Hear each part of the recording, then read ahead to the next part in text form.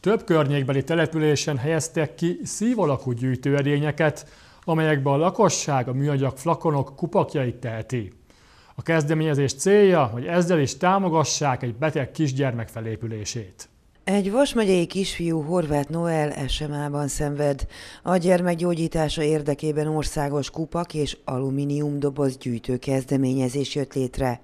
Kislomácson a falu központban a motoros emlékmű mellé helyezték ki azt a szívet, amiben a helyi és környékbeli lakosok bedobhatják az összegyűjtött kupakjaikat. A Kistolmácsi akció kezdeményezője a település polgármesterének felesége Birkás Zoltánné volt. Kerestünk egy olyan vállalkozót, aki nekünk ingyen és bérmentve legyártja. Volt egy vállalkozó Somogy megyéből, és volt egy letenyei vállalkozó, aki onnét ingyen és bérmentbe elhozta. A többit már mi megoldottuk. Tehát mi leraktuk, követ is hoz, hozattunk ide. Tehát most folyamatban van egy henger is, amivel szintén a sörös dobozokat és a üdítős, energiaitalos dobozokat gyűjtjük majd.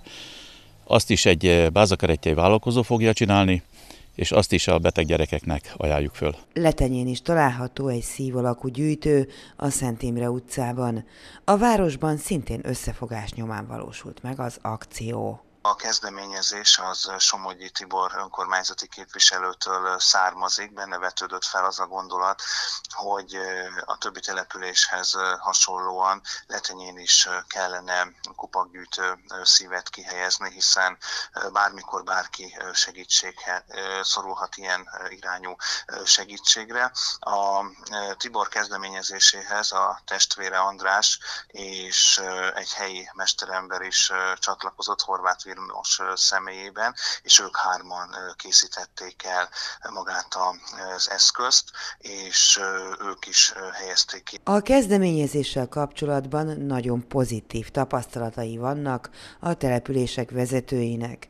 Mint azt elmondták, a közterületért felelős munkatársak és a háztartások a szelektív hulladékgyűjtésen túl odafigyelnek a kupakokra és a dobozokra is.